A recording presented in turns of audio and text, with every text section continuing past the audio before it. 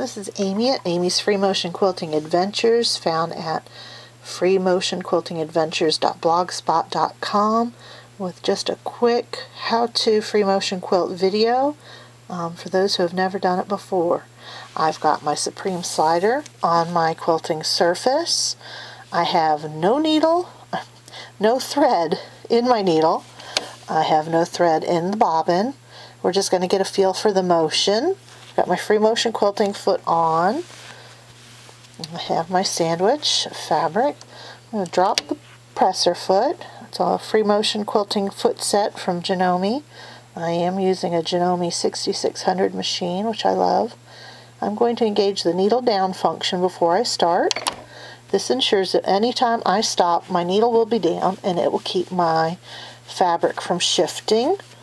And we're just going to start doing just some soft loop-de-loos. Like I said, I don't have any thread in the machine right now. I'm just getting a feel for the motion. I can speed up. When I speed up, I want to speed up my hands.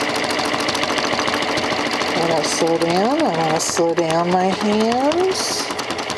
If I speed up and keep my hands at the same speed, my stitches will get very short.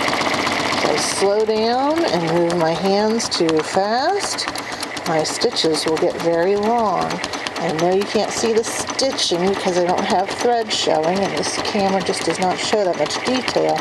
But where I am sitting, I can see enough to see where I am going. And this is a great way for you to practice when you're new to free motion quilting. And I'm just repositioning my hands. And this way you're not using up your fabric, you're not using up your thread. It's just a little bit of easy practice.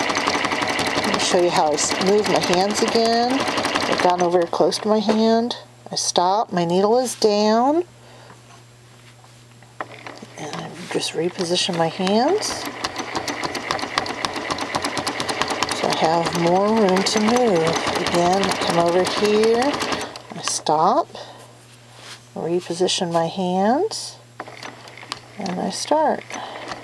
I try to move my fabric just a tiny bit as it's making that first stitch after I've um, started over again when I've repositioned my hands uh, so that there's not a couple of stitches right on top of each other.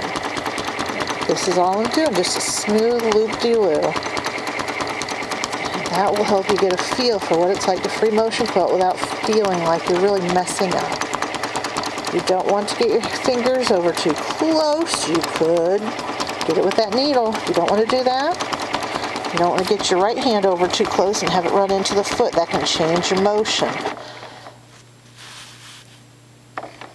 Again, this you can't see my stitching. There is no thread in here. This is just a practicing to get the motion down. I'm going to stop now and I just start on a new video. I hope you will look for my uh, videos on YouTube and at the blog. Again, this is Amy at Amy's Free Motion Quilting Adventures. We're doing a series on how to free motion quilt. Thank you. Bye-bye.